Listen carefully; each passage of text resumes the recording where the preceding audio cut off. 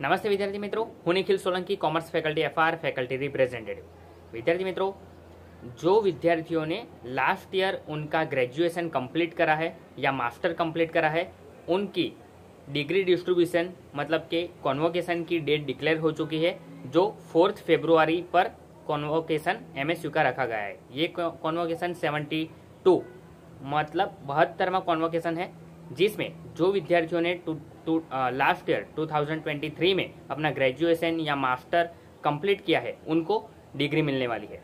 तो डिग्री पहले कौन, किसको मिलेगी? फोर्थ डेट को। तो जो विद्यार्थियों का गोल्ड मेडल आया है या रैंक आई है, उनको फोर्थ डेट मतलब जो कॉन्वोकेशन की तारीख है, उस तारीख पर सिर्फ़ और सिर्फ़ जो विद्यार्थी गोल्ड मेडल लाए हैं, उनको ही डिग्री मिलेगी।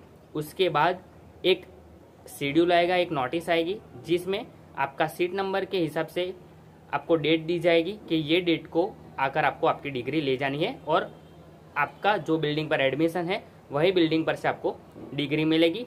लेकिन ये कॉन्वोकेशन फोर्थ फेब्रुआरी को जो है, वो कंप्लीट हो जाने के बाद वो नोटिस आएगी शेड्यूल आएगा, वो शेड्यूल के हिसाब से फिर आपको आपकी डिग्री डिग्री लेने के लिए जाना होगा। और अभी किसको डिग्री मिलेगी? तो जो विद्यार्थियों ने कॉन्वोकेशन के जो फाइव हंड्रेड रुपीज़ समथिंग जैसे भरने थे फाइव सेवेंटी या फाइव एटी जैसे रुपीज़ जो जो विद्यार्थियों ने भरे होंगे कॉन्वोकेशन के, उन्हीं विद्यार्थियों को अभी डिग्री मिलेगी और जो विद्यार्थियों का कॉन्वोकेशन का फॉर्म भरना बाकी रह गया है, वो सारे विद्यार्थियों को, एक बार ये जो विद्यार्थियों को डिग्री मिल जाएगी, उसके बाद उनके लिए ऑनलाइन वेबसाइट चालू करने में आएगी, या तो फिर आप हेड ऑफ़िस पे जाके ऑफलाइन पेमेंट करके भी आपकी डिग्री ले सकते हैं।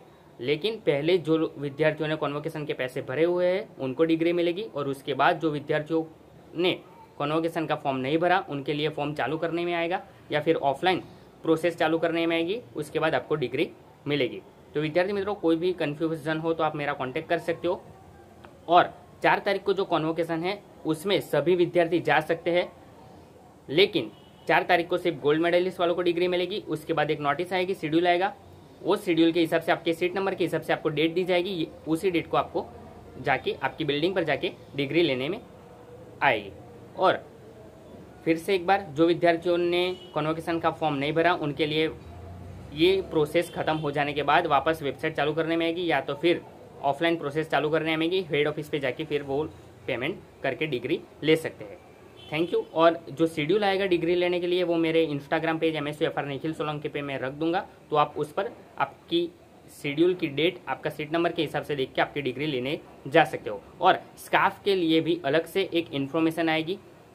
वो स्काफ भी आपको आपकी बिल्डिंग पे लेने जाना होगा और उसके लिए भी एक शेड्यूल आएगा। आपके सीट नंबर के हिसाब से आपको डेट दी जाएगी। उसी डेट को जाके आपको आपकी बिल्डिंग पे जाके स्काफ लेना होगा। वो स्काफ लेने जाने की डेट अभी कुछ ही दिनों में आ जाएगी तो मैं मेरे इंस्टाग्राम पेज पे अप, अप, अपडेट दे दूँगा। आप मेरा Instagram page M S U F R Nikhil Solanki follow रखना उस पर आपको उसकी सारी इन्फॉर्मेशन मिल जाएगी। और स्काफ लेने जाने के लिए आपको खुद ही जाना होगा।